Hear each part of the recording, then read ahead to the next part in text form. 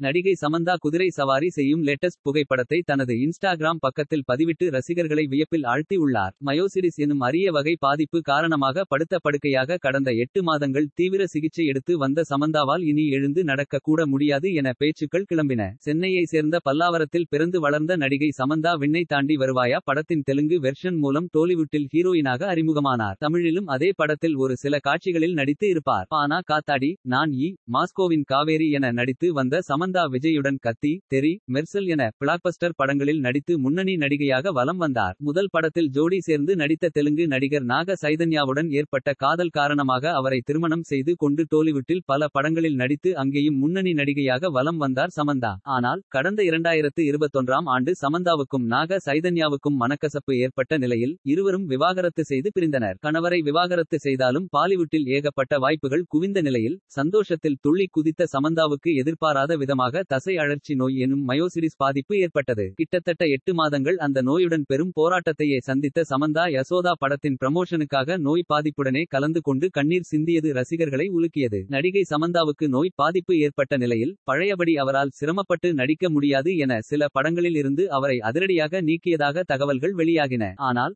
மீண்டும் தன்னால் பழையபடி நடிக்க முடியும் என கடுமையாக ஒர்க் அவுட் செய்யும் வீடியோக்களையும் பாக்ஸிங் செய்யும் வீடியோக்களையும் தொடர்ந்து பதிவிட்டு வருகிறார் நடிகை சமந்தா. பாலிவுட்டில் வருண் தவான் உடன் இணைந்து சிட்டாடல் எனும் வெப்சீரிஸில் இணைந்துள்ள சமந்தா விஜய் தேவரகொண்டா உடன் குஷி படத்திலும் நடித்து வருகிறார். இந்நிலையில் தனது இன்ஸ்டாகிராம் பக்கத்தில் குதிரை மீது சவாரி செய்யும் புகைப்படத்தை வெளியிட்டு தனது ரசிகர்களை உற்சாகத்தில் ஆழ்த்தியுள்ளார். லோகேஷ் கனகராஜ் இயக்கத்தில் விஜய் நடித்து வரும் லியோ படத்திலேயே சமந்தா தான் ஜோடி என தகவல்கள் வெளியாகின. ஆனால் கடைசி நேரத்தில் சமந்தாவுக்கு பதில் த்ரிஷா மாற்றப்பட்டதாக பேச்சுக்கள் அடிபட்டன. இந்நிலையில் இயக்குனர் அட்லி இயக்கத்தில் விஜய் நடிக்க உள்ள தளபதி அறுபத்தெட்டு படத்தில் விஜய்க்கு ஜோடியாக சமந்தா தான் நடிக்கப் போகிறார் என்றும் பேச்சுவார்த்தைகள் அடிபட்டு வருகின்றன.